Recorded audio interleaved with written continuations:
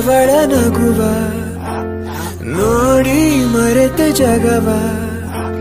ಹಗಲು ಗನಸು ಮುಗಿಸಿ ಸಂಜೆ ಮೇಲೆ ಸಿಗುವ. ಮುಸಂಜೆಗೆ ಹಡಗಲು ತಂಗಾಳಿಯ ತಯಾರಿ. ಸದಿಲ್ಲದೆ ಸೂರ್ಯನು ಬನಾಚೆಗೆ ಪರಾರಿ. ಅವಳೆದುರು ಬಂದಾಗ ಎದೆ ಬಡಿತ ಜೋರಾಗಿ ಕೂಗು ಕೋಗಿಲೆ ಮನದ ಮಾಮರಕ್ಕೆ ಮರಳಿದೆ